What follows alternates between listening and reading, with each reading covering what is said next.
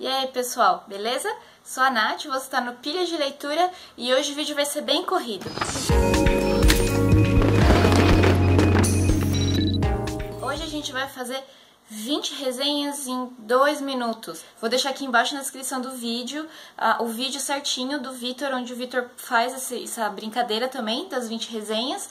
E todas as resenhas, todos os livros que eu falar aqui, que eu já tiver feito resenha, eu também vou deixar lá na descrição do vídeo para vocês se, se interessarem poder assistir a resenha completa. Tem que falar de 20 livros em 2 minutos. Será que vai dar certo? A menina má, não acredite em crianças fofas. O monge negro, onde a loucura e a sanidade se confundem. A carne e o sangue, onde boa parte dessa zona toda começa. Planeta dos macacos, quando os macacos são mais inteligentes que os homens. Capitão América Renascimento, uma biografia do Capitão América. Bisco Roxo, onde o mal de dentro de casa pode ser o bem da comunidade. Pílulas Azuis, uma história de amor e AIDS. Biografia do Neil Patrick Harris, um manual prático de como sair do armário e se dar bem na vida. A arte de correr na chuva. Carros, cachorro e muita fofura. Jurassic Park, brincar com dinossauros pode dar merda. Psicose,